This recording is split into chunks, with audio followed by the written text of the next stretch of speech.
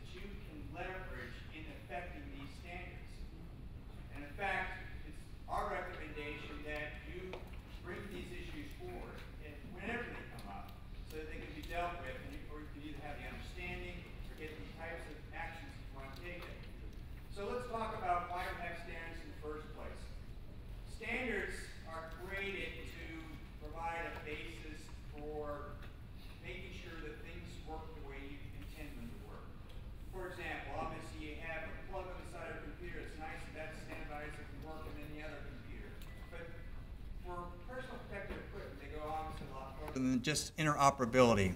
It's about setting minimum levels of protection and safety. They rely on test methods. Test methods, of course, are important because you want manufacturer A that's making a claim and saying they got a certain performance level to be able to be comparable to manufacturer B that's making a, a similar or different claim. So the standardization of test methods is, is obviously important.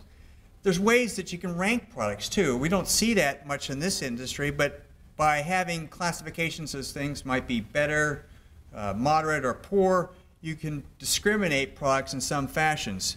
But what we rely on in the fire service are minimum performance specifications. And these, of course, are requirements that take in different types of design and performance criteria, performance criteria being based on test methodologies and set minimum requirements.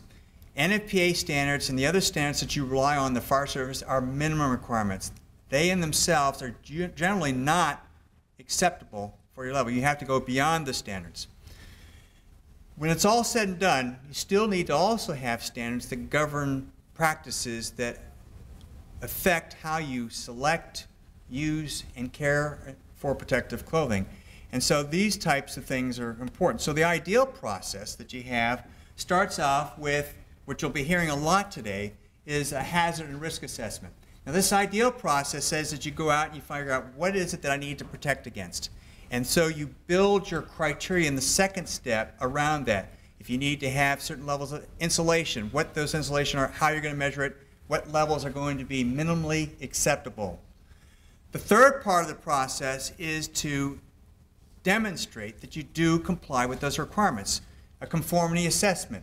But what we call it is certification. And certification is the process by which you, you demonstrate, you prove that your product meets it. And then lastly, as I spoke about practices, it's important to have ways that once you have a product and it's standardized and it meets, it's shown to meet that standard, that there's ways that the fire service and end users can then be told and instructed on how to select, use, and to maintain those products.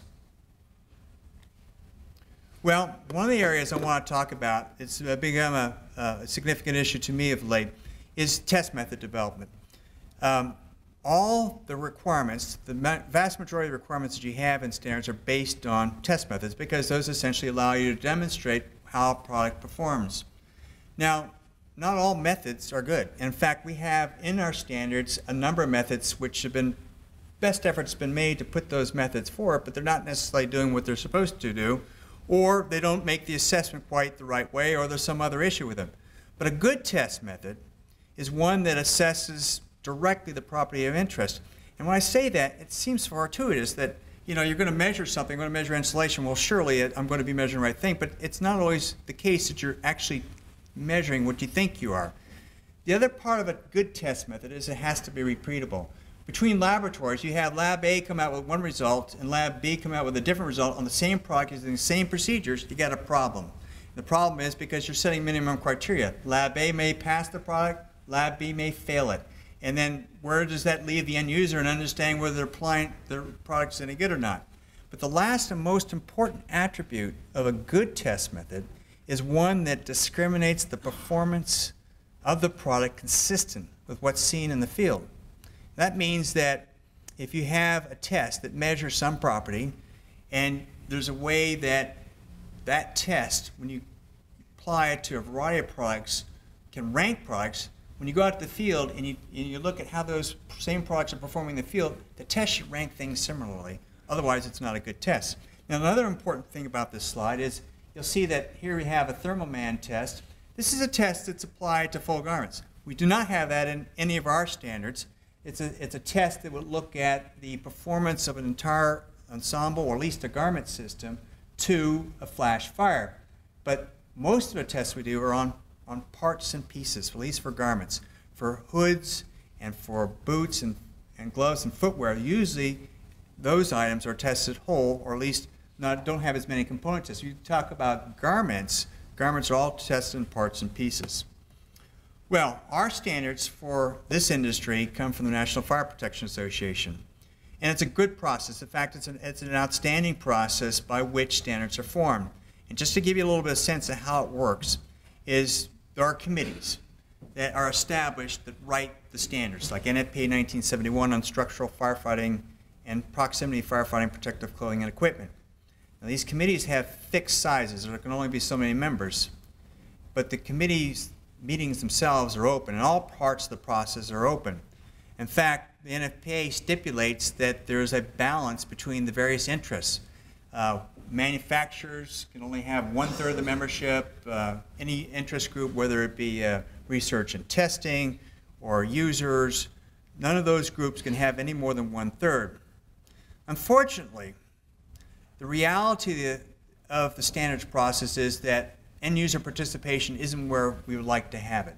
Uh, we have on paper memberships that are balanced, but when it comes to fire service participants in the process at meetings, usually it's a little less limited than that because of the resource demands that you have and able, being able to participate. So I encourage you that when you have issues to bring them forward to your leadership, Rich Duffy, or other individuals that can bring that forward to the committee, because the IAFF, for example, has representatives on these on most of these committees. The focus of NFPA is to come up with these minimum performance standards. And these standards really include a vast variety. If anyone that's looked at them, they're, they're 200 pages long, they're, they're a lot of detail, not expected to be any kind of light bedtime reading. But certainly they're prescriptive and they, they do cover a large degree of detail re required for these products and are probably the most rigorous standards in the world for any kind of personal protective equipment. One of the nice things about NFPA is that the standards go through a revision every five years at least, or somewhere on that order. And that's, of course, to account for emerging technologies, changes in testing methods, and just simply the needs of the fire service. But the most important part of NFPA, and the one, again, I want you to value and take back with you, is the fact that you have the ability to provide input different stages of the process, either through proposals, when the start of the revision occurs, or new documents being put together, or through comments. And again, if you don't know how to do that, you can bring that to your leadership, to the NFPA. If there's issues that you have, those can be brought forward. Well, another key aspect of NFPA standards is the fact that they employ third-party independent certification. And probably, again, the most rigorous certification requirements of any products anywhere. The organization itself that conducts the certification has to be accredited, it has to go through a number of different steps of meeting a variety of different standards itself, even to offer an, a certification of a product. But this is important because obviously when you look at a label of the product and you see that it conforms to a standard, there's a mark of the certification organization. I have two of the organizations shown here, Safety Equipment Institute and Underwriters Laboratories, that you have some understanding and guarantee essentially that that product has met the standard. Now the certification process is quite rigorous. It includes not only the testing the product against standards, show that it meets all their criteria and the examination for design criteria, but there's quality assurance. Because let's face it, if you're testing just a couple limited products, how is that representative of everything that comes off the production line? The only way that you can try to guarantee that is by having every product made exactly the same way so that when an auditor comes in and pulls a product off the production line, it's going to test just the same as the product that was initially tested. And other aspects of retesting uh, annually, the requirement for safety alerts, product recalls, these are all part of the certification process. Now, it's rigorous, but it's not perfect. And certainly, uh, the certification organizations endeavor to provide the highest level of quality, as do the manufacturers that participate in this process. But it is, it is an important part to providing higher levels of health and safety. Well, what has the IFF done for you in terms of providing uh, support in this process? The IFF has probably been the leading, most leading organization in standards development for fire service personal protective equipment. It started out with a project called Project Fire, so it essentially defined the modern turnout clothing requirements. There's requirements for the design, there's the mandate of a moisture barrier, there's components of various parts of the ensemble, and most importantly, it, it came up with a new way of measuring thermal insulation through a process or test called thermal protective performance. Now this test, which is pictured in this bottom photograph, shows a very detailed test that replicates a flashover type of condition and also takes the results to measure, being measured in terms of a predicted second degree burn injury. Now, what's significant about this is the fact that prior to the introduction of the TPP test, the way thermal insulation was measured and guaranteed was by just measuring the thickness of the, the composite, which sounds ridiculous now, but that was the law of the land before 1986 when the TPP test was first introduced. So um, there are other tests that became part of the, part of the standard. Uh, one of the tests I think bears a little bit of explanation is a test known as the oven test, or it's actually heat resistance. In this, in this test, you have an oven, and that oven is a special oven that controls the exposure of a material that's placed inside the oven. In this case, we have a material. It also could be a glove, a helmet, uh, footwear, and that's exposed to a condition, five minutes at 500 degrees. Now, you may question, that's not a condition I would expect to survive, so why are you picking this condition and exposing the material in this fashion?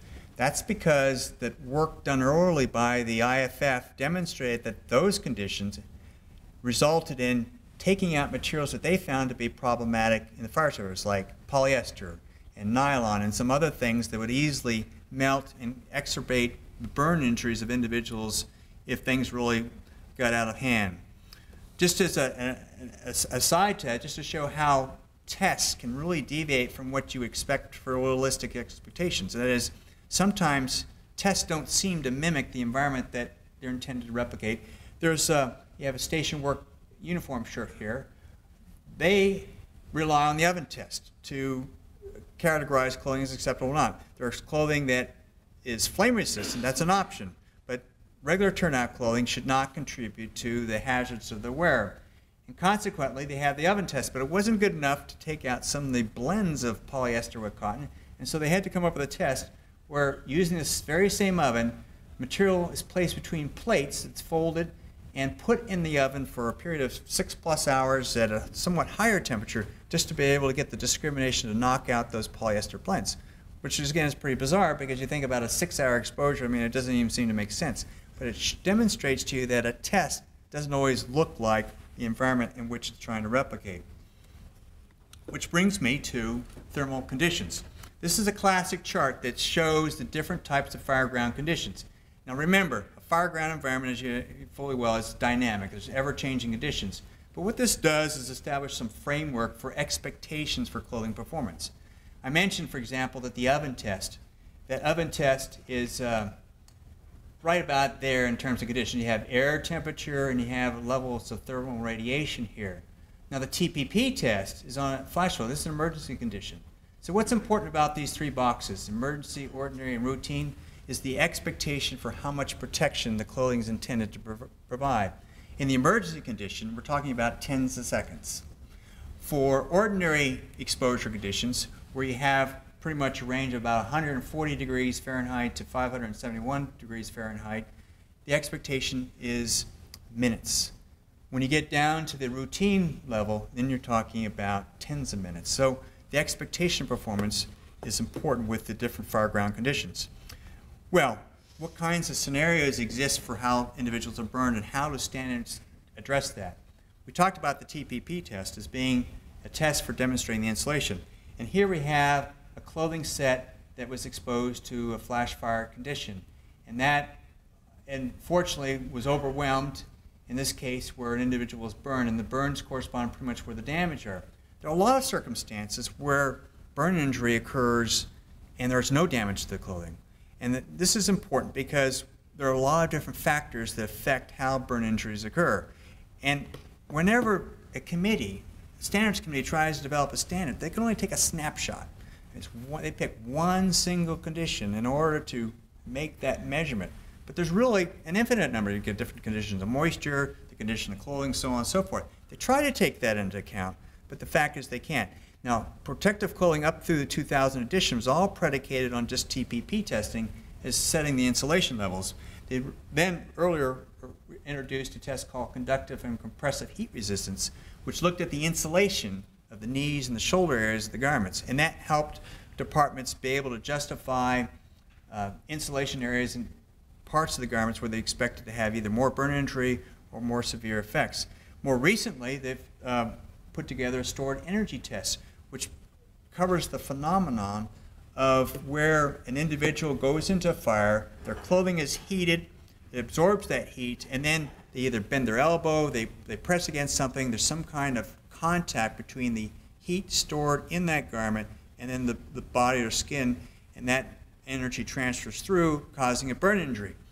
Well, the committee, in putting together, in my opinion, is really just done a cursory way of doing. They've got a method in right now to deal with stored energy, but I don't think they did the full study to understand the extent of stored energy burns and how it went. Because as it is right now, it's going to affect just the sleeves of a garment, and that's it on a coat.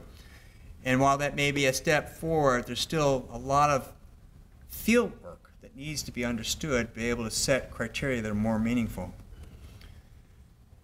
You have insulation, but and, the, and if you, the theory would be if you just wanted to protect firefighters better, you would simply just build that insulation thicker and thicker. Well, obviously that comes as a trade-off. And the trade-off is, of course, the increased stress on a firefighter. The IFF led a study back in 1998 that we worked with them on, called, we called the Indianapolis Field Study. It was a study that was undertaken to look at the stress impact of clothing on firefighters. And it was done in a fashion where there was a test that was being promoted at the time, known as total heat loss. And that test, we wanted to see if that test could predict. And this is where this is a case of where the work was done correctly. I like to say that in every case that we put test methods and requirements in the standard, there's been a lot of science that goes behind it and a lot of deliberation and decisions. Unfortunately, that's not the case. In this case, though, it was.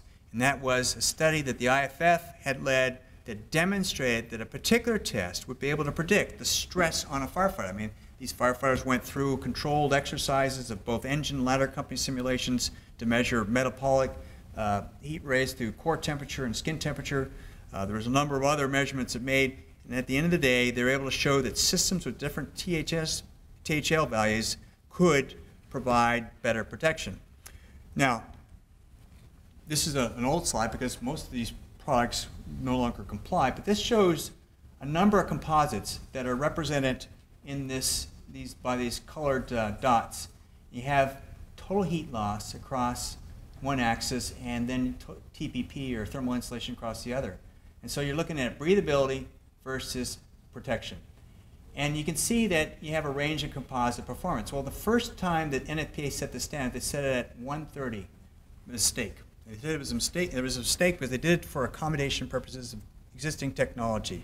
The IFF study clearly showed that a limit of 205 was the better limit, but the committee took a more conservative approach, which is represented by this line here. So you can see that there was a number of composites that were originally compliant, and this was to the 2000 edition, and then in the 2007 edition, they, they went to the actual 205, and this is where they are now. So obviously what you're trying to do is drive, maximize both thermal protective performance and total heat loss. And as Tom and Carl will tell you later on, your hazard and risk assessment is going to dictate where you want to be on that continuum and where that trade-off will occur. The other thing that the IFF has done is been very, uh, very strong advocate for introducing barrier technology. And barrier technology has been an important part of it. Started through Project Fires, it's uh, come to some culmination in Project Heroes, an initiative by the International Association of Firefighters. And it deals with a lot of different things. The hazards, of course, the firefighters face are hot water and bloodborne pathogens and liquid chemicals. And Project Heroes is also chemical and biological warfare agents. But the issue is that firefighters succumb to a variety of different hazards. Uh, they can Uh, either infection-based or, or disease-based or some sort of toxicity-based. And these hazards are growing in fire service responses. And so having good barriers in the materials and the design itself. And what Project Heroes did is, was to really to focus on systems testing and to focus on interfaces between different parts of the ensemble.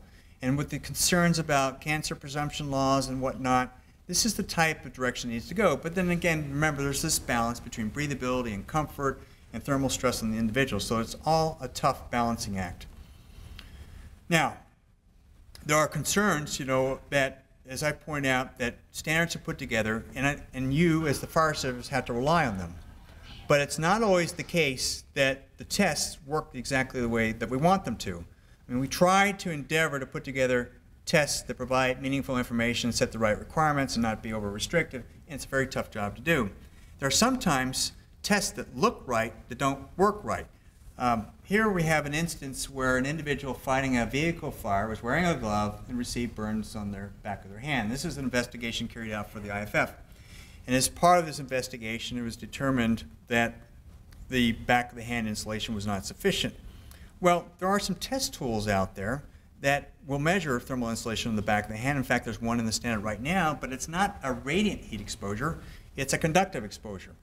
Well, there's some neat tools out there that are coming out that look like they would do the job, but when, uh, but when they're actually applied, they don't show the difference. They don't pre predict the problem.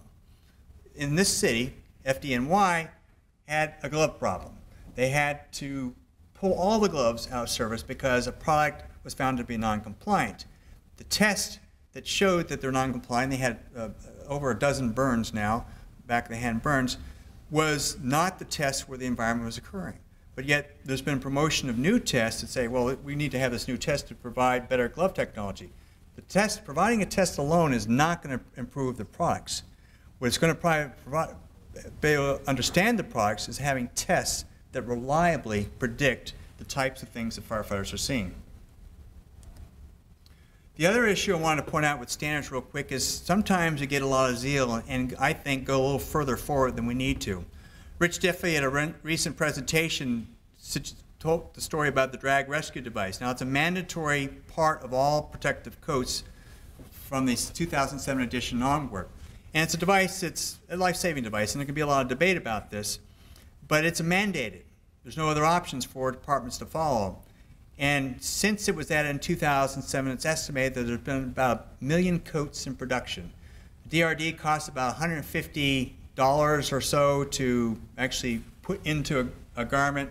So you look at $150 million that the fire service has spent, and to date, we don't know of a single deployment. That's a lot of money, but also it's a big debatable area. I mean, it's, it's a safety device, and so I just throw that out, out to you for your consideration. There are a lot of departments that say, hey, you know, to be able to, to operate that under the conditions we have is going to be really tough. It, is, it works for some departments to swear by it. So this is the kind of feedback that we need from your membership. There's always issues with standards. Uh, we have some that come up all the time. The classic is goggles versus face shields uh, on helmets. And, and then we get issues about what type of face shield might be acceptable. And it's a huge debate. And inevitably, what happens is it happened this time in the revision process, they're going to allow everything to be uh, part of the standard. But there's always proponents one direction or the other. Other issues that come into play within standards like gear retirement, you know, the 10-year rule, it's been uh, debated by a lot of organizations about whether that's something they can comply with. Uh, obviously, there's some good basis for that because gear that's old and needs to be retired and out of date in terms of the technology for testing and whatnot probably should be looked at. But again, it's a highly debated issue that the committee has to deal with all the time. We also run into conflicts within standards. Um, we have a new standard for, NF, for uh, thermal imaging cameras, but no certified products. Why is that? Because there's a test method in the standard which no one can meet. In fact, a study was done by the NFPA Research Foundation that showed that not only is the test flawed, it doesn't produce the results even close to what the expectations were of the end users. So we make mistakes. And unfortunately, in this case, that means there's no certified products in the marketplace. So there has to be a lot of due diligence in this process. I mean, and, and we'll, we'll talk a little bit about this. We also have cases, uh, the IFF's been heavily involved in looking at new pressure vessels for SCBA. In fact, there was a industry briefing on Monday, which we provided, and that shows the potential benefits, and they're, they're still they're debatable, but the NFPA 1981 standard that covers SCBA would allow that device to be certified if they even wanted to or, or chose to. So standards can also be restrictive. They can be design restrictive in the way the requirements are set. Now I'm showing you a test, and you have to kind of turn sideways. This is a boot that's being evaluated for flame resistance. I'm particularly critical of this test because this is the extent of the test as it's been put in the standard. Essentially, the committee, or portions of the committee, decided to come up with a new flame test for boots.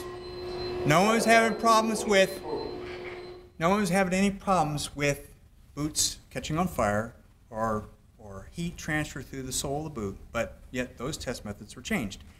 And, and I look at a test like that and say, okay, where's your calibration? You know, how are you controlling the exposure? How are you, you know, talk about reliability and precision and meaningful data and everything like that. I mean, this looks like a weenie roast. And so it's, it's you know, I, am I'm, I'm embarrassed that this is going in the standard. This is going in in 1971 as it stands right now.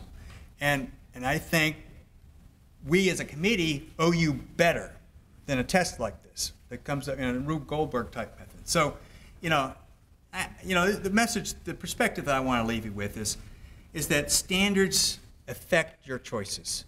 Standards are challenges for manufacturers. I've been on committees where we said that the, the end users got together and the Fire Service said, hey, we want this. And the manufacturer said, no, we can't do it. And we demanded it and we got it because we asked for it. You know, but you have to have some practical basis for it. You can't have the standards restrict new technology. The, the statement that the creation of standards has to be based on science. You have to have good science that goes into test methods, but you also have to balance that with practical reality. Uh, there's too many times where they don't necessarily come together. And that's why, as our last point, we'd like to tell you that what we were looking for, and we'll, we'll help you with this, we're, we're asking the fire service to provide a greater voice in the standards process. If there's things you don't like, you things you want to change, you can go to Rich Duffy, can come to me. I'll write the proposal, the comment for you. I don't care if I agree with it or not. I'll just put it forward because we want that input to the process. So I want to thank you for your attention today. And what we're going to do with our format is we're going to go straight to the next presentation. At the end, we'll have comments and questions. So I'm going to bring Carl up here and um, get his uh, presentation going. And there you go, Carl. I'll move right into it. Thank you.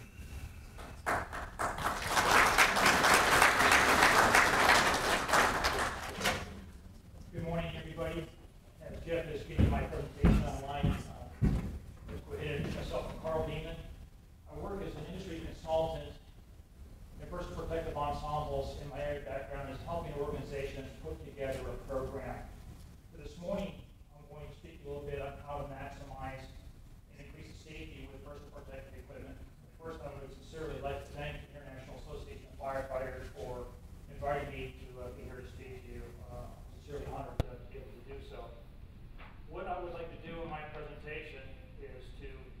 begin to take the science associated with protective ensembles and help you put that into a practical application.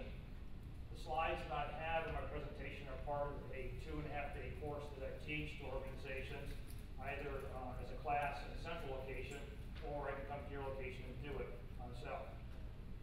I'll make my PowerPoint presentation available to you, so after this presentation or throughout the next couple of days, if you'd like to have a copy of this, please uh, stop me uh, or email me, and I'll be happy to share it with you. And Getting going, title of my presentation is using a program, program approach to increase safety and health of the members wearing personal protective ensembles.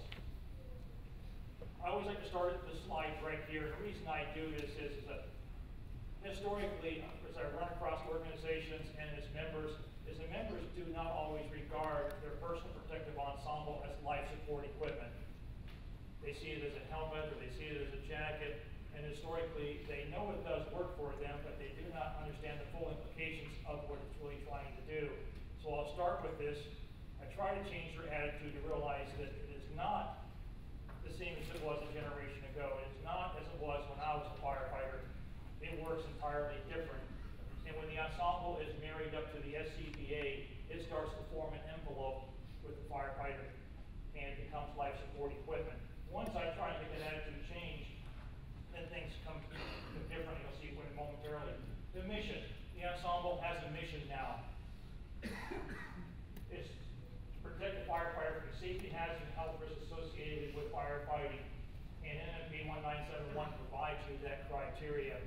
Now, what I wanted to drive in this slide right here is that once an ensemble is on, it's an envelope of protection that's being formed here. The firefighter is now being cocooned in this ensemble and is going to provide that protection. Now, the ensemble is broken down into elements. I use the word ensemble and elements because they are proper nouns. They are defined by NFPA. So as I speak, I tend to use that. However, you'll still hear words such as bunker gear, turnout gear, and I'm sure there are other acronyms that mean the same thing. But when we look at an ensemble, what you see on this slide right here are all of the elements that comprise that ensemble. What we've done now is we've taken it from the top picture to what we now have on the bottom picture. Now, although there are a lot of similarities, uh, they do perform entirely differently. Picture on the top is from my generation. I remember it very well. It extended up into the mid 80s. In fact, the organization that I worked for at that point in time, even though we had SCBAs available to us, we actually had written SOPs in place. You would not wear the SOP or the SCBA until your company officer does, because the next fire might be bigger. So we trained without uh, the SCBA. Program is a planned approach. I stress that. The program is a planned and structured approach to PPE and governs many facets of the personal protective ensemble. This is a title slide. I put that here. I'm working right now under contract with the U.S. Air Force. We are writing a program for the Pacific Air Command and its nine organizations. And what drove us to this point is the PACAF Command has been spending a considerable amount of money on training its members and retraining its members. And what was failing was this. The members were very fluid. They're moving in and out of these organizations, and once that happens, they have lost the benefit of that training.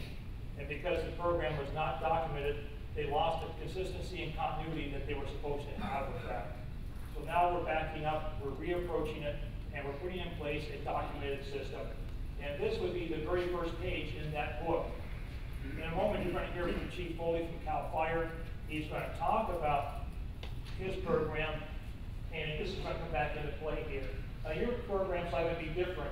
It's strictly structural firefighting. Of course, this would be edited to take out the word proximity, but this is the leading page for the PACAF's documented program for the selection, care, and maintenance. When you're looking at the program, these are some of the attributes that go into the program. It needs to be researched, planned, and documented. These first three aspects for PACAF have taken me almost four months to write and to get into position. Then we will train it as I go out to each organization. I will be there to assist them to implement it. But once it's implemented and is going on their own, they will need to manage it.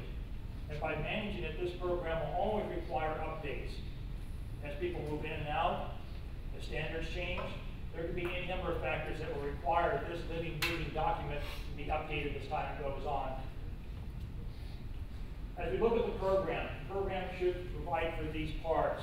Now, in looking at this, the selection, the use, and the maintenance are the three core components that are absolutely mission critical. I'd like to use the administrative part to begin to lay the groundwork of the program. It defines roles and responsibilities, for example, standards, and we're going to get into that momentarily. In attachments, I like to put explanatory material into the documents. When I'm working with organizations, one of the things I strive for an organization is to encourage them to want to put this together. I sell them on the features and benefits of having a program rather than sitting there hitting them over the head with, you have to, you shall, and you need to. Although that's true, NFPA and OSHA both will come together. Both of these standards and regulations will require a program of sorts. But what I really want to do is to sell the program to the organization. If they come as a willing player and their members come as a willing player, we have a working program versus one where we drag everybody kicking and screaming. So in the attachments, what I tend to do there is provide material to all members of the organization is why are we doing what we're doing and with them, which is what's in it for me. And breaking it down further, and drilling down deeper, into selection. And, and what are we looking at in selection? What we're looking for here is to provide the member of the organization with an ensemble that is suitable and appropriate. It's going to work for your applications. In addition to suitable and appropriate, OSHA also has a term called proper type, and they go even deeper, proper type and amount. Amount, you may have to look at two sets of ensembles, especially when you're factoring care and maintenance. So, you're looking at this, suitable and appropriate, proper type and amount will come into play. We then get into the use, the second core component of a program, use. What we're trying to do here is provide the member with the knowledge and skills to understand their ensemble. They understand how to work in it. More importantly, they understand how to survive in it. They recognize early enough signs of impending equipment failure. The ensemble is starting to, to quit on them. It doesn't mean the ensemble is going to fall off onto the floor, but what it means is the ensemble is becoming overwhelmed. And now we're seeing the system no longer protect the user. What we have seen in these cases right here is the firefighter has failed to recognize that in time.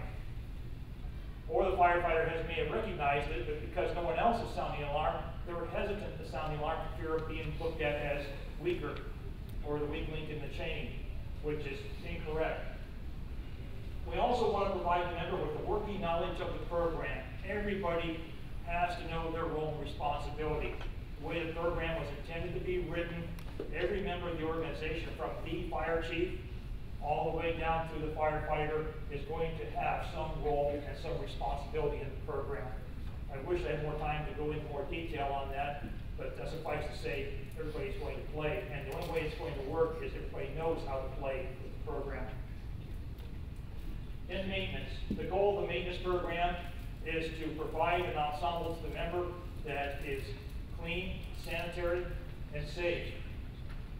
OSHA calls it safe and usable, but all are going to come together. We're going to take an ensemble that we know is going to become soiled, we know it's going to become contaminated at some point in time, and take that ensemble and put it back into a safe and usable condition again. So maintenance can come into play. These three items will form the core of your program, selection, use, maintenance. Let's talk about the benefits. From a selection point of view, it's going to affect safety a great deal. And we're going to look at the proper type and amount. And one item I really want to focus on, for example, is compatibility. We typically see a breakdown right here. Compatibility is what is that element going to do with the other elements we currently have. Historically, when organizations look at their ensemble and they're looking to make a new purchase, they look at an element point of view versus an ensemble point of view. For example, they look at the helmet, but they don't look at what the helmet is going to do as it interfaces with the jacket or the SCBA or the hood. Likewise, they don't look at the jacket to glove, or sometimes the jacket to trouser. So these are some of the breakdowns that we see in the compatibility area. Proper use, training, drill, and issuing. Training and drilling is this, when we look at training the firefighter, we need to train them on their ensemble. We need to train in a practical sense, that they understand how the ensemble is going to work, and again, they recognize when is the ensemble going to fail. Given that firefighter information on TPP and THL is nice to know, but we have to put it in a context that they can actually use it in the field. Telling a firefighter a TPP of forty-two, and we explain to him that he can survive in a flashover environment for roughly twenty seconds with nothing worse than second degree burn, they're gonna be tempted to test it out. They're gonna push it to that limit. So what I'd like to do is take this science and put it into a practical sense, and that's where your training's going to come into play. Um, Jeff alluded to the DRD. Like the DRD or not like the DRD is irrelevant at this point in time, it's there. It needs to be trained, and as I talk to organizations about the traumatic rescue device, that five or six seconds of silence that I sometimes get tells me that they do not even know that the DRD is in position, let alone how to use it. I've seen a lot of other things come to DRD. One of them, I've heard the story where the organizations, its members, are taking a carabiner and a short leash and tying the firefighter off to a door or something, so he has to drop the nozzle, they can pick the nozzle up and go with it. Okay. But what I also want to focus on with the DRD and training is this, do it in the practical sense of the word. If you notice closely the slide that Jeff had on here, show the firefighter using the DRD, you will notice that neither one of them have SCBA face pieces on or the SCBA, which means that they were not blind. Put someone down, put a tank on them, and obscure the vision of the person going to rescue, put gloves on them, you'll change the dynamic of how that DRD is going to be deployed quickly. Health, safety. This is maintenance right here. This is typically maintenance. What we're going to do here is we're trying to minimize as best we can the buildup of soils, contaminants, blood, blood and body fluids, etc., from becoming a health risk. This is where maintenance will kick into play. We're also looking at exposure control. The program will look at exposure control from three points of view. One, we're going to try and protect personnel and public. Personnel will be all members of the organization as they move about the facility. Simply put, from OSHA's point of view, we are attempting to keep soiled areas from clean areas where we can control them. It may not be a perfect world out there, and we may not be able to exercise that control all the time, but most certainly we can do a better job than what we appear to be doing right now. The public, this is really an issue come October, Fire Prevention Week, although I see it all the time, but Fire Prevention Week, fire service is historically guilty of putting public into PPE ensembles that are in frontline use. They're also guilty of finding the dirtiest and most battle-hardened ensemble they can find just to show that it looks cool. If we're going to use protective ensembles for the public, these should be dedicated for that purpose. They should be clean or at least be brand new or simulated where we get the effect and the look, but we're not exposing the public to soil contamination. We're also going to be looking at trying to protect our facilities, our stations, and also along with that, it's often overlooked, our apparatus crew cabs. We go to the scene, we enter the event, and all too often I see us do what? We get back in the apparatus cab and we wear the PPE back home, and then we look at it for problems. Well, usually by the time we find out we've got a problem, we've already contaminated our cab. Or if we have not, let's look at the long-term buildup of soils and debris as they slough off into the apparatus cab and create contamination hazard at some point in the long term. And looking at standards, NFPA standards, OSHA standards, regardless, are all, standards are going to play a role in your life. So as the slide before indicated, is if we look at our program, we need to research the standards. As I was working with the U.S. Air Force, it amazed me that when I questioned some of the people that they've appointed to the PP position, these individuals were not properly trained. And when I mentioned, which is the DODI, which is identified here as other standard, there's also more. And if you are Air Force in this room, then you know that you have the AFI, and then you have the TIG, and these individuals did not even know these documents existed. So as we get into looking at the administrative program part, that's where this fits. In the administrative sections, we start to drill down even deeper. Table of contents, introduction, and there we go, standards and regulations. We need to identify which ones are applicable to your unique situation, to your organization. Next, we get into selection. These are the five minimum, as I see it, program parts that go into selection that have to be dealt with. Number one is that risk assessment that you're hearing so much about. The risk assessment is a tool that gives you, requires you to step back for a moment and begin to defend why did you buy what you purchased? Why did I select that particular helmet? It's not going to ever eliminate all injuries or all fatalities. Never. But it's going to give you cause to step back for a moment and maybe rethink why did you do what you do. From another point of view, it's going to show that you did apply some methodology to selection, especially if something went horribly wrong and you're being challenged. A lawyer, compliance officer, somebody may be taking you to task on why did you select that particular element or that ensemble, and your risk assessment will start lay the groundwork for it. Again, it doesn't mean it prevented it, but what it means is you did at least put some thought to it, is all we're saying here. The evaluation process is also critical. The evaluation process is going to be a tool by which you can determine what protective element or protective ensemble is going to meet the threat of your risk assessment. The certificate of hazard assessment, I broke it out separately, but it can be combined with the risk assessment. But this document is required by OSHA, if you're under their jurisdiction, to identify what specific element meets that risk assessment. So you're going to identify, for example, the manufacturer model number at this point in time. Again, if something goes wrong, and you say I identified this as meeting my risk assessment and validated through my evaluation, and you inadvertently have this, it's going to ask questions. It's going to bring a lot of issues to you. So please, look at those very carefully. Now, as I indicated, you can take the certificate of hazard assessment and combine that with risk assessment, but at some point, both of those requirements have to be stated. Once that is done, you will be required to put together an element specification.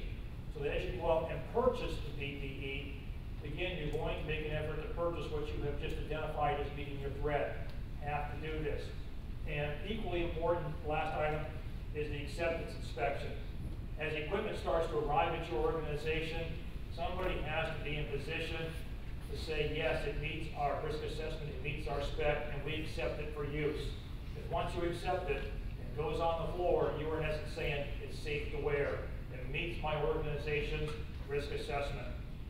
I do know of three instances where that failed to happen. In one instance, where there were hand injuries, burn injuries with a particular glove, this glove had actually failed in the evaluation process and was disqualified. But yet, it was purchased because it was low bid, got into the system, and actually got into the warehouse because no one did the acceptance inspection, which would have rejected it. So all of these documents are going to come into play for selection, and Chief Foley will speak to them in more detail in his presentation. Training, I do not have a lot of time to go through this, but again, thinking that you want my PowerPoint, I put this information on here to help you, and I will make it available to you. Key word is we need to train our members on how to safely work and survive within their clothing system. I want to go straight to this slide and go to the last item, sounding the alarm firefighters need to realize there's no shame in sounding the alarm. It's no different than the bell on the SCBA indicating that you're about to have a problem. As firefighters get into duress, they're hesitant to do that because they're afraid of what their peers might think of them.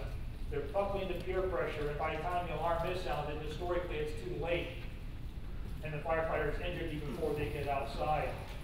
Company officers also play a role here, team leaders, crew chiefs, whatever your designation is, is that when a member of your organization is telling you they're in distress, please take it seriously and egress. You can always sort it out later to find out was the alarm valid or not valid, but to try and make that decision as the scene is going on is not correct. I know of three instances again where company officers looked at the alarm as a firefighter was just uncomfortable. He really wasn't getting hurt, when in fact he was getting hurt. And there were a lot of conditions why. Uh, just because we all look alike on the fire ground does not mean our protective apparel is working the same way. There'll be a lot of things changing the dynamics here. So simply put, as firefighters want you to do their part and sound the alarm at the right time, and company officers need to act on that alarm at the right time. We get into part two and three, you're issuing exposure control. When we issue the PPE, the person who's doing it needs to be trained to look out for things. Sizing is number one. Firefighters, honestly, don't always tell you what size they really wear. Okay, so somebody who is issuing a jacket or a trouser or helmet is going to have to be looking for that, and what you're looking for is interface.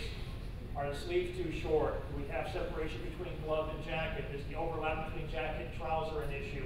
Uh, there could be a number of factors that come into play. So just before you start handing off a protective ensemble to someone, the person who's doing the issuing needs to be trained. They're the front line of defense. Is the system actually going to work as a system, as an ensemble now? We talked about exposure control already. Personnel safety. I identified this as a separate issue because now we are not talking to members per se. We are talking about the staff who are actually going to perform maintenance. They are going to be held to a higher threat level. The reason why is they are definitely working with protective ensembles that are going to be soiled or contaminated or suspected. And in OSHA's words, if you suspect, you shall assume. So with that in mind, they're going to have to increase their PPE. And in addition to the ensemble itself presenting a safety and health risk to the member performing the maintenance, there's also chemicals involved. They're going to be working with cleaning chemicals, and they're going to be working with liquids which will present splash hazards to them. So when I get into personnel safety, what I'm looking at right here specifically to the members of your organization who are, uh, who are performing the actual maintenance on the protective ensemble. We want to protect them. Special incident events. This is in the use part of your program. It deals with protocols that you will follow in the event that we have a firefighter who is injured or we have a fatality.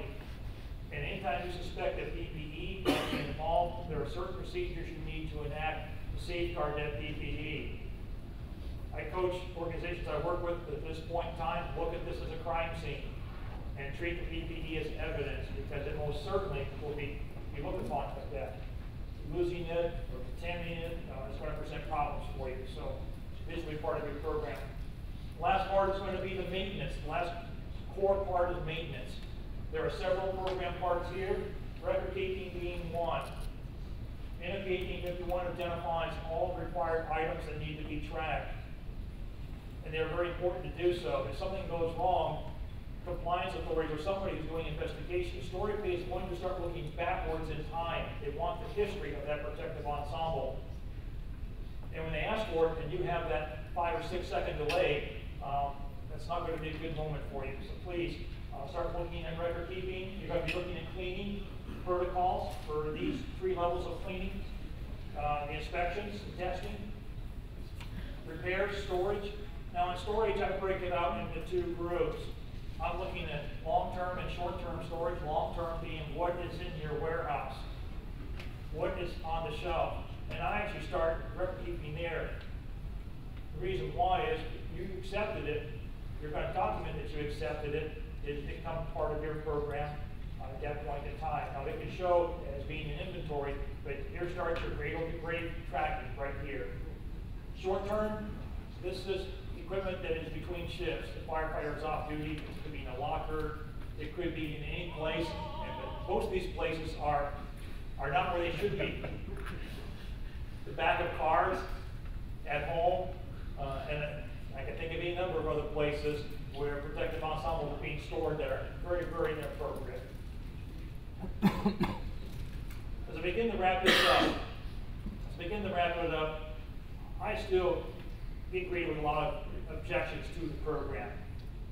And one of it comes from, from these points of view, is a selection, a uh, systems approach is not followed. The big one, no risk assessment, is purchased based on past history and traditions. Chief Foley will speak to that. Uh, I've even had people come, I purchased it because the sales rep is a friend of so-and-so who throws a very good barbecue. Look, that may be the case, but if you're ever in front of a compliance officer, that's not the right answer they want to hear. Please avoid that one. Tradition over performance and looks over performance. If you are responsible for your organization's PPE, you can pretty much expect to be taken off the Christmas card list because you're going to be making decisions and doing things that may not be popular with a lot of members of your organization, especially where it doesn't look cool. And use. We need need to address our training, our attitudes. The attitude of the member has to be changed in some regards. And maintenance, this is a big one, and this is where I really come in to work. Typically, when I get a phone call from an organization asking for help, something always went wrong. I cannot think of a single instance where I have been called on the front side of a project. I usually called on it broke and now we need help. And in the area of maintenance, it's oversimplification, number one. I have people tell me that, well, cleaning, it's not rocket science. And, and why is it so hard to throw a jacket in a washer? Okay, I will agree with you, it's not rocket science, and we're not going to Mars. However, I will also tell you it is a science. Cleaning is a science. If you doubt me, start to look at commercial laundry facilities such as Mission Laundry or others like that. They do a lot of work. They go into the detail of even measuring how hard the water is. Now, why that's important here is that we are dealing with soils, we are dealing with soil types and soil concentrations they don't see. So we need to take what they know and also apply what we know to create a good cleaning program. It is by far more complicated than just buying a washer extractor from Lowe's or Home Depot. It has to be the proper type and amount of equipment, or your maintenance program will fail, and somebody is going to get hurt. Attitudes.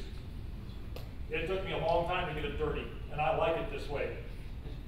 Followed by firefighters intentionally getting their equipment soiled or damaged. People putting helmets in barbecue pits, not making that one up. Maintenance is resisted, especially the members, they want that battle hardened look. Again, you're not gonna be popular if you pull a helmet from someone's hands that's all burned and crisped up like, uh, Jeff has shown or Chief Foley's about to show you. They want those helmets, and I know one instance where a helmet was condemned, and I know I'm belaboring this, and I appreciate your indulgence, but it's important, it was condemned. The firefighter begged to have it back so he could take it home and put it on the fireplace. Well, it begs the question, if it was loaded with soil, why is it going home? But aside from that, where the story is really going is this. He was given a new helmet, but guess which one he took home? The new one. Put that on the shelf, kept the old one in service. And how it came to happen is that there was a hand injury, which is totally irrelevant to the helmet. Firefighter who got hurt started to come under pressure, and to deflect that, he said, well, my captain's wearing a condemned helmet.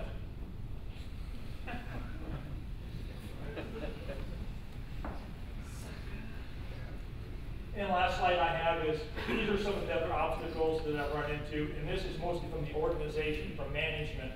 Budgeting, number one. We budget for the preventive maintenance of our apparatus, our power rescue equipment, and a number of other equipment items. But to this day, a number of organizations, the majority, tell me we do not have an adequate budget or any budget for our personal protective ensemble. I've seen organizations number in the thousands and yet only have seventy-five, maybe hundred thousand dollars worth of money for maintenance, and that's woefully inadequate. It tells me what they think of their PPE, and again, I work to try and change that attitude, and, uh, Chief Foley briefs you, he will, uh, he will build on that. I thank you very much for your time.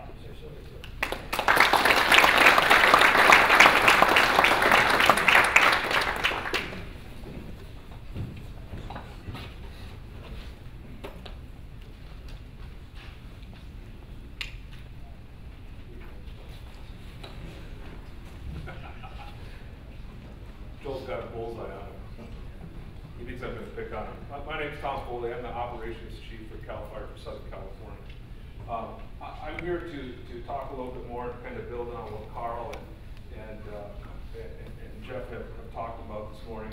Uh, to get started, I, I need to brief you a little bit on, on CAL FIRE, because those of you who know CAL FIRE probably know us as a, a wildland primary, a, a wildland organization. And, and those of you who know us probably think, you know, what's, he- what, what's, uh, what's, what's Tom gonna talk about as far as structural PPE, and how's it gonna fit into, to Carl and Jeff? So, so what I wanna do is just kind of provide a little bit of, uh, of information on CAL FIRE so you understand our perspective in, in how we're going about purchasing PPE. CAL FIRE, um, is specifically, it- it's Cal, California's fire department, the state's fire department. We got started originally with a wildland mission, but in California, the legislation allows for local government, whether it's individual cities or counties, to contract to the state for fire protection. So we have a, a very defined municipal operation and a very defined wildland operation. And, and, and, you know, we have to purchase PPE for both, and in our wildland operation, we're different than the other, uh, federal forest agencies because we consider that, uh, aggressive initial attack on structural fires, uh, to do, to conduct, uh, interior operations is a way to keep the, the fire out of the wildland environment also. So we have, we have a very defined structural role. I want to make sure you understand that. CAL FIRE currently has forty-seven hundred career firefighters. We have another, for our wildland mission, we bring on another thirty-one hundred seasonal firefighters for the, the wildland role. And, uh, we have, we also administer in those local government contracts another fifty-six hundred volunteer firefighters. The top, if you add them up, you know, we're purchasing right around, um, thirteen thousand sets of, of, of turnouts. You know, talking here, structural ensembles, as Carl will tell you it is, and NFPA, that's what we're into. So that's kind of where our perspective is. We have also, we, we use uh, inmates in our, uh, in our wildland crews for, for uh, hand crews. And we also have volunteers in prevention, and that is um, specifically public education for the most part. CAL FIRE is broken down into twenty-one administrative units. Within those units, we have both municipal and wildland responsibilities. Just so you know, we have eight hundred and three engines, so you get an idea of, of the comparison between our wildland and our state and our, and our municipal operations. The state, which represents the wildland, two hundred and twenty-eight engines. And then under contract, we, we, we cover five hundred and seventy-five engines. That's our, we have thirty-eight ladder trucks, rescue vehicles, and so on. Just want to make sure that we call it kind of understood. Last night I had uh, dinner with uh, uh, Dan Melia. What's that? Million. I get that wrong. Sorry. He's the safety chief for FDNY, and he was kind of curious how I was going to tie Cal Fire into into the, uh, the this presentation. He had no idea that we had that much of a municipal operation. What I want to get started with is really important in this topic, as you understand all the standards that Jeff was talking about and then the, the program part that Carl was talking about is, well, how do I get my arms around that? How, how do I understand what that means for us? I remember the first time I went to one of Carl's two-day seminars on 1851, and, and let me take you back. Three years ago, I was asked to chair the first statewide PPE working group that basically all 21 different units had their own PPE methodologies. We'll just call them that okay? Pretty interesting, some of them. But their methodologies were a little bit different. We had several PPE issues that we had to address on the state level. So I was asked by Sacramento executive staff, would you chair the first ever PPE statewide working group? I said, yeah, sure. I was working on a couple of projects, one in the fire shelter program, a couple through the National Wildfire Coordination Group. I said, how difficult could that be? And uh, what, what a huge mistake that was. Um, I remember I went to pick up the issue papers after we formed the PPE working group. They said, hey, you'll meet a couple of times a year. You know, big deal. 27 issue papers. And all of them were complex.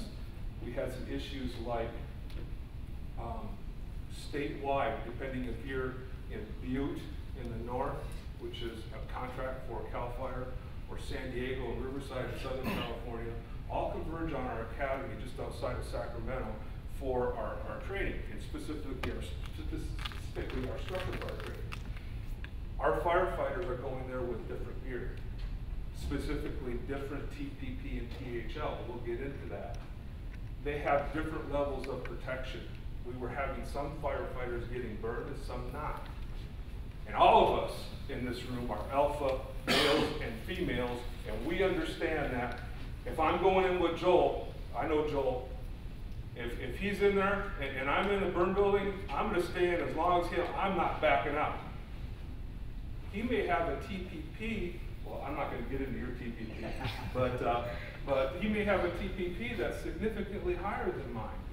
I'm, I'm having issues with how my gear is protecting me, but he's not. But my ego is not going to let me back up. And that's the type of situation that we were having with our firefighters, and they were getting burned. So we had to reconfigure and start taking a look statewide about how we are doing that, what we're doing. What I'm going to talk to you about is a paradigm shift that we had to go through. A paradigm shift from our traditional purchasing methodologies to what's required by OSHA, for us, Cal OSHA, and then the national standards, specifically 1851. Raise your hand if you've been dealing with 1851 at all. Not a lot, folks? Okay. It's, it's a complex program. It's basically everything that Carl was talking about. So I want to talk about this paradigm shift. And basically, the paradigm shift takes us from traditional purchasing methodologies to what's required by the law. So what's, what are traditional purchasing methodologies? How do we, how do we acquire our structure fire, our, our structural ensembles, our turnout gear, our bunker gear? A lot of us over, over history have just gone catalog shopping or internet, whatever it is, but we're just gonna search through all the vendor sites, take a look at, at what we like, you know? Some of us will go and say, especially our admin chiefs, they're really big with this. Hey, you have X amount of dollars and you need X amount of turnouts, so go do your thing. Okay? That doesn't work. OSHA doesn't care how much money you had when you, when you went to purchase those ensembles. The, the law requires you to conduct a hazard risk assessment to determine your levels of protection. We'll get into that in a minute. We buy the vest. Well, what does that mean? Bigger one is we purchased that such and such department specification. Um, my wife is, is, is from the Midwest, as am I, but we went to her hometown a couple of summers ago and I was hanging out with some of her, her high school friends who were part of the volunteer fire department in the town that she grew up in. And, and I was talking with them. They had really nice station, grant funded stuff, really nice gear. And I asked them, you know, what gear is that and how did you come up with it? He said, he said one guy says, well, this is FDNY spec. Purchase this. This is this is the morning pride, da da da da. I said, really, how did you come up with that? I said, what do you mean, how did you come up with it? It's the FDNY spec. Well, you know, what's the process that you went through to get it? there was no answer. Long pauses, kind of like, what the hell are you talking about? You know, I'm thinking about how did you determine your, your protection values? How did that mesh with you? How did you do, how did you balance TPP and THL? I'll get into that a little bit. But that's one of the traditional purchasing methodologies. We just grab onto someone's spec that we think is cool and roll with it. Next one, we purchase safer spec, we tagged on to such and such a contract. Well, we've always purchased such and such years, so we just continue to purchase that, never had a problem with it. And when I was a firefighter, it was good enough for me to hear a lot of that out of, the chief officers I deal with. Influences in those traditional purchasing methodologies, I want, I want to cover that. Anybody in the wildland community at all? Raise your hand if you're in the wildland community. LCES is an acronym for us in Wildland Firefighter Safety. LCES stands for Lookouts, Communication, Escape Routes, and Safety Zones, something we're always considering when conducting wildland operations. In the PPE world, it stands for Look Cool Every Second. because, man, half of our, uh, we're a vain bunch, man. We're not only alpha in nature, but we're a vain bunch. If we want to look cool, and if we're ever going to a fire, especially in multi-jurisdictions, you know, where, where you get mutual aid, we're all looking at what each other's wearing. We want to look cool.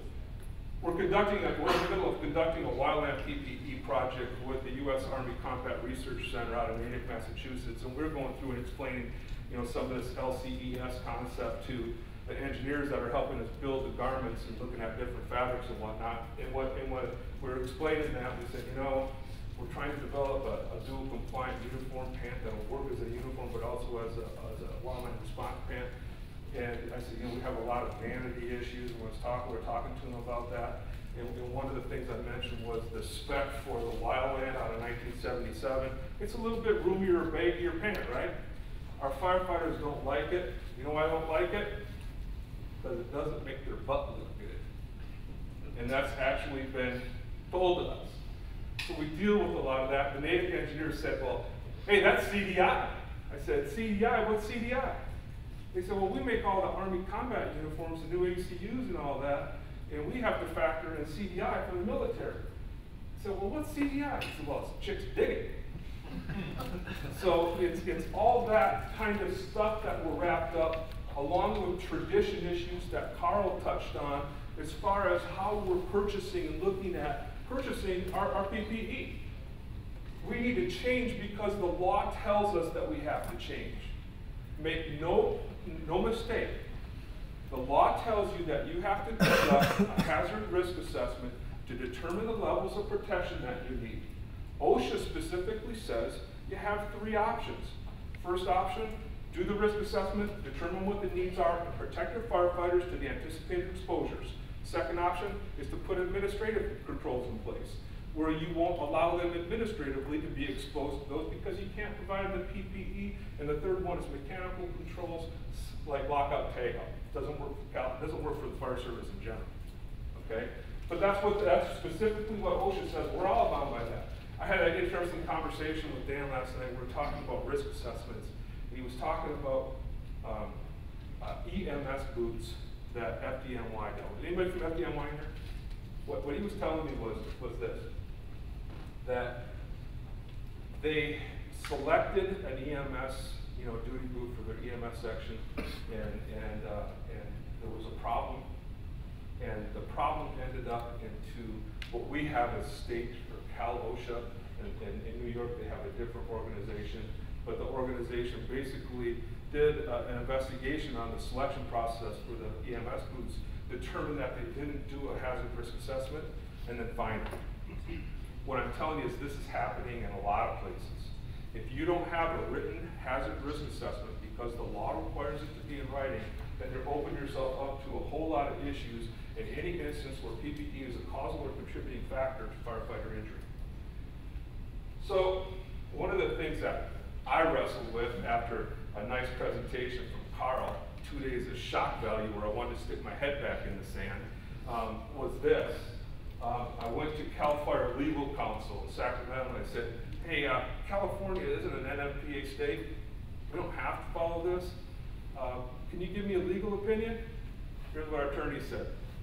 If you do not have a standard, a local standard, more restrictive or less restrictive, that is defendable and documented, you will be held to the national standard in a court of law where PPE is causal or contributing factor of firefighter injury. So if you think for a hot second, because you're not an NFPA mandated state, I know Joel is in Texas, right? Isn't, aren't they mandated? No, back up to, uh, legislation. All right. So did he used to be though? No, I don't think he. I thought Texas was. I could be wrong there, but, anyway, if you're in an NFPA mandated state, you have to do it, but regardless, we need to follow the national standards. We're gonna be held to that. I went to a PPE symposium right after I, I took the chair of, of the PPE working group. Anybody been to the PPE symposium in Charlotte? Excellent. If you have anything to do with selection of working in PPE at all, you need to get to that symposium. They have it every couple of years. It's incredible. The amount that you learn at that is, is, it's needed. In the process of doing that, one of the presentations was by an attorney. And the attorney, basically, his presentation was pretty short. It was a couple of years ago, and what the attorney Jim said was this. If, if we go to court, he represents firefighters who've been burned, or, or injured, I should say. If we go to court and you're sitting on the witness stand as a chief officer or in any role has anything to do with the selection of PPE, here are the kind of questions I'm gonna ask you. And if you can't answer them, I'm coming after your retirement. It's not safe. I'm coming after your kids' education funds. They're not safe. I'm coming after everything you own. And he basically started like this. First question, please provide me a copy of your written hazard risk assessment as required by OSHA. I don't have one. Our department doesn't have one. We have over ten thousand people in structure here. I don't have a risk assessment. A written hazard risk assessment to provide. Anybody in here have one? Raise your hand if you. Got one, two, three? Joel does in Houston, but that's about the average across the United States. Because after this, I started going to, to different symposiums, meet, trying to meet different people, because, you know, I've been chopping and squirting for twenty-some years. I don't wanna reinvent the wheel. If someone's got a hazard risk assessment that's gonna work for me, I wanna review it, tweak it, and just use that. But I couldn't find one that would be usable for CAL FIRE at the time. So we had to start from square one. Jim went on to say and said, You'll ask questions like this. What was your process in, in identifying the protection values of the gear that you wear? Can you answer that? Was it going to the barbecue? Was that the process? You know, then he went on and, and asked some very specific questions, but it was all related back to the selection process that you went through to determine that. And I couldn't answer anyway, walk out there feeling like a fool, okay? If you get a chance to do that, it's a great opportunity to learn more about, about the process and products. So what we did was we started this risk assessment process. And what we first had to do was determine what our TPP THL values are. So TPP, thermal protective performance, Jeff hit it hard. I'm not gonna get into it, but from a, a, a, a CAL FIRE perspective and from a fire department perspective, my question was, how do I determine what my TPP is? How do I do that? Don't we all do basically the same job? Shouldn't we all be in basically the same thing? Well, not necessarily, the way the risk assessment process goes. Because TPP, you're looking for your maximum exposure. Remember those, those boxes that Jeff had? You know, when you're you gonna hit that maximum exposure? Is our maximum exposure gonna be flashover conditions? For us, that's what we determined it was gonna be, and we know that to be above thousand degrees, twelve hundred, whatever it is. So then we had to start looking at the number of seconds of performance that would, that that was going to give us. The NFPA minimum is thirty-five, it gives you seventeen point five seconds of protection. Remember, Jeff, time of protection in that maximum exposure. So we had to take a look at that. Look at our response times, look at our building construction, look at all the data that we have, injury data, uh, for, for burn injuries, everything. We had to take a look at all of these factors, our SOPs, our SOGs, how are we teaching people to fight fire? When they're in the training environment, what kind of exposures are they going through? How is their gear performing? What is it doing? What do we need to do? Those are all the factors that we had to take a look at. I thought, I was hoping, I was praying to God it was only gonna be a two or three page document. That'd be about forty by the time we got done to take a look at all of those factors. Training standards, numbers of response, time of maximum exposure, all that. We know that THL has an inverse relationship with TPP, as THL is simply the garment's ability to, to, to get rid of the physiological heat that you build up. So let me ask you a question. I worked in the city of Coachella. Anybody know where Coachella is?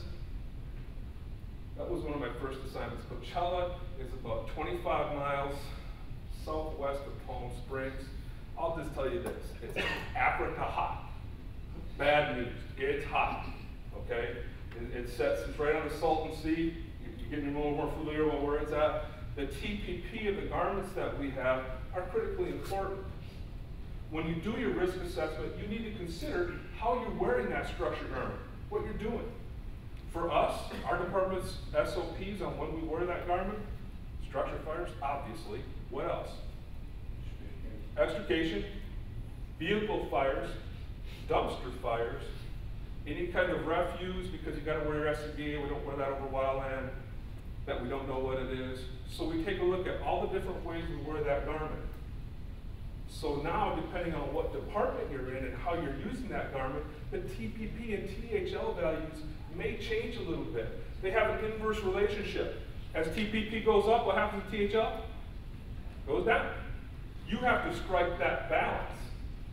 There's a range typically between the minimums established in NFPA that go way up from there for both TPP and THL. You have to go through all of those factors and determine what's the appropriate level for your department. It may or may not be the same as New York City. I don't know. That's your decision. Understand that process. So we took a look at some of these factors, and I was running through a couple.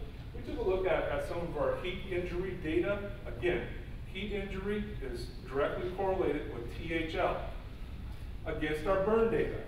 How is that happening? Where are we injuring our people? This is going to give us an idea of how we need to balance TPP and THL. We started looking at that and we realized we have a whole lot more heat injuries, and these are heat, these are not your average or everyday ordinary heat injuries, okay?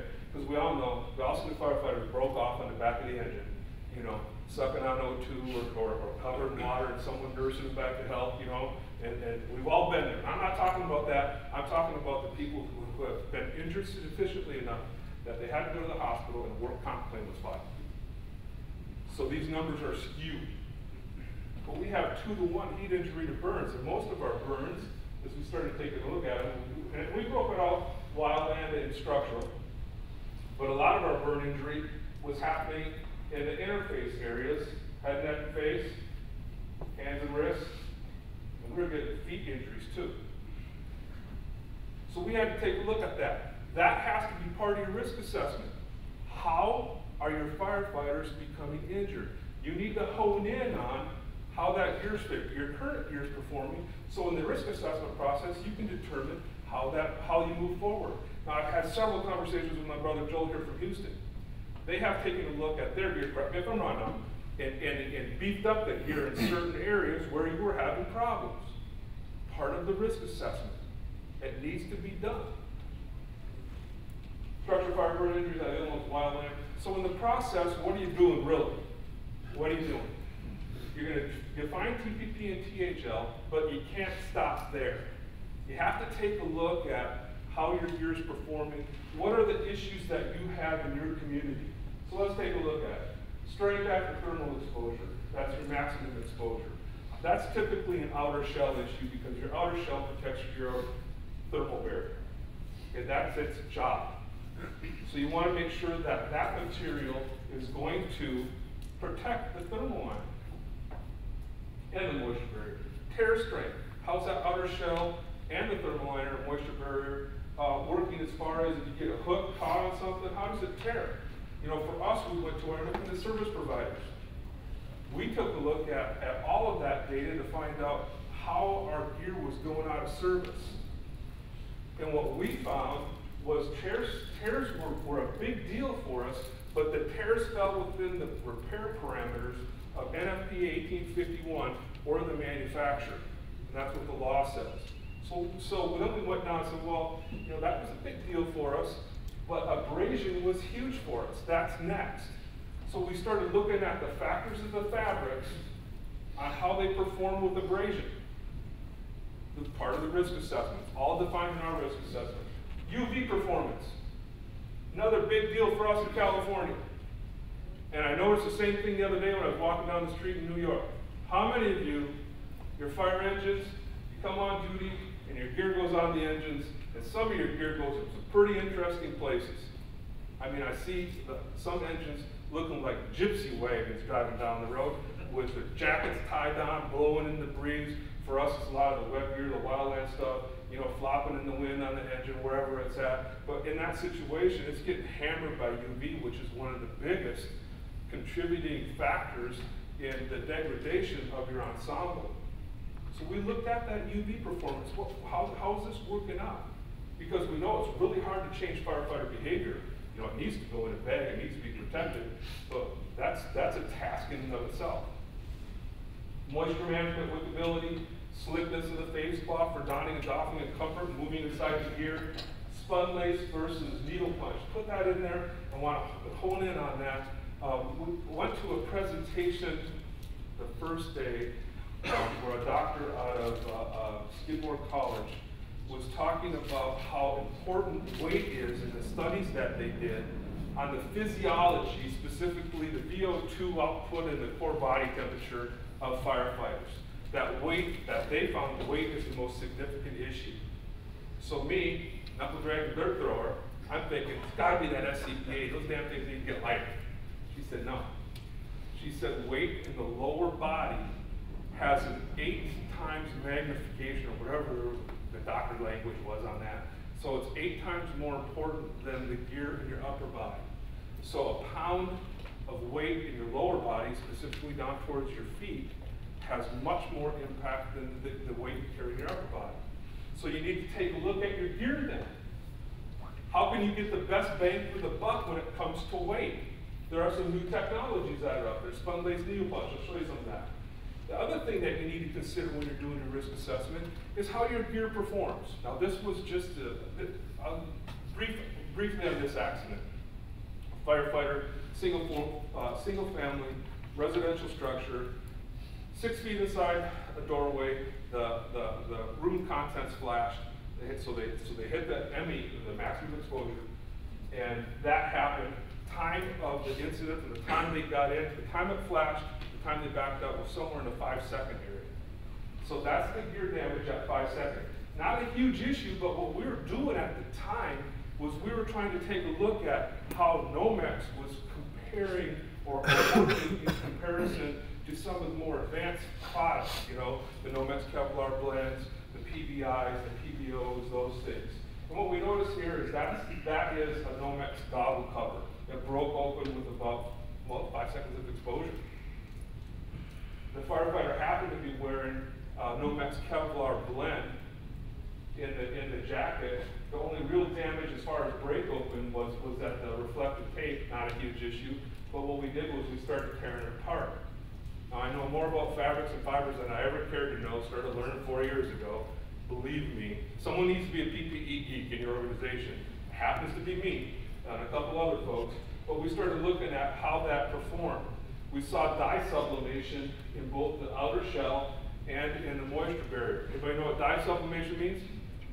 One of the things I learned over the last few years, dye sublimation is the temperature at, at which the dye will burn out of the fabric, typically about 700 degrees.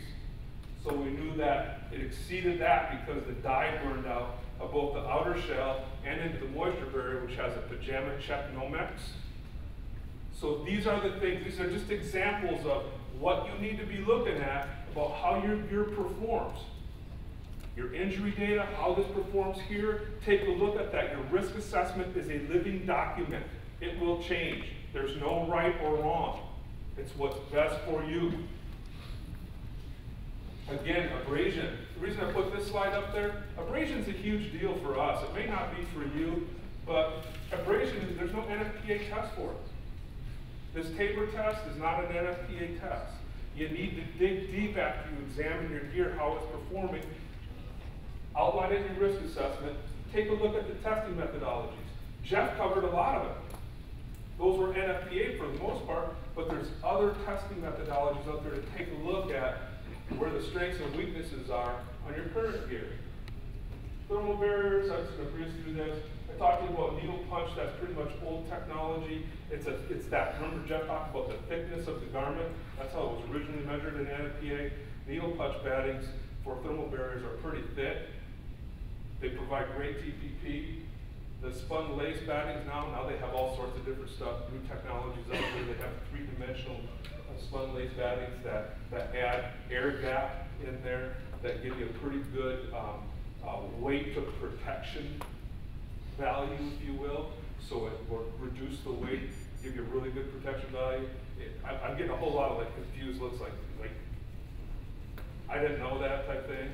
These are all the things that you need to know in understanding your, uh, your risk assessment. So I want to, as I breeze through this, I want to leave you with a couple of things. What's really important, I'm going to take you to what President Clinton said. We all heard him speak, right? Everybody's in there for a president. One of the things he said was this, it was really important to me. He said, sometimes when you ask the right question, you'll get the wrong answer. Remember that part? And then he said, but if you don't ask the right question, you'll never, if you ask the wrong question, you'll never get the right answer. I wrote that down, trying to commit to memory, screwed it up already, but, but, uh, but uh, the, the, the concept is, is that what questions are you asking? It's all part of your risk assessment. We're all very, very similar, but we have differences. And you need to examine what those are, outline them in your risk assessment, and then your risk assessment, like Carl said, needs to tie into your spec. We go on, taking a look at different things here. My time's up. It's time for us to leave. I talk more about those slides. Don't have time, but but that's where we're at. Uh, I'm pretty much done. Jeff, anything? We do have maybe time for a couple of questions if, uh, of, I know it's, it's lunchtime here and the session's officially over, but, uh, uh, thank you for your attention, but any, any questions of any of the presenters today, please, uh, here. Yes, uh, uh, excellent uh, uh, presentation, and I thank thank you for it. The one thing that I would like to ask uh, Jeff is in regards to 1971 and the NFPA standard. Uh, we've done a tremendous job in, of increasing our level of protection for firefighting in regards to the fires, etc. But there's one element that fire protective clothing really has very severe limitations, and that's protecting us from carcinogens such as benzene and such. And that's one of the things, when you started Project Heroes, that's what I saw the value in that project.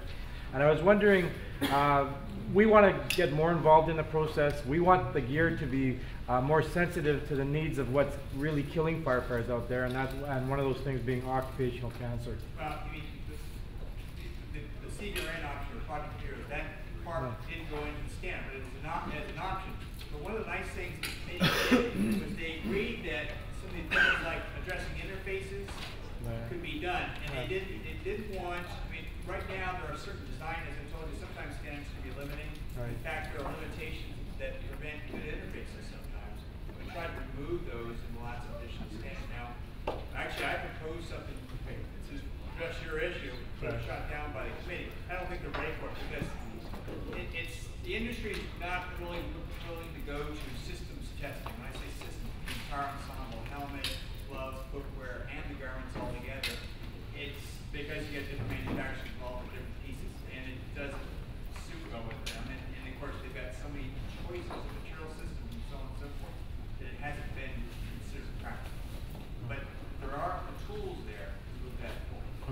Okay, thank you. Other questions? I'd like to comment on his question. I, I think research that's ongoing now in the next couple of years is gonna show that gases, vapors, ultrafine particles, and a lot of other combustive byproducts may be going right through these three-layer composites. And it's not just the interfaces, it's the basic inherent material. And that eventually, I think the committee's gonna have to figure out, once that's validated, how to design products that are gonna protect you. The drawback is gonna be, they're gonna be tougher against uh, heat stress, they're gonna be Right. buckling you into that thing.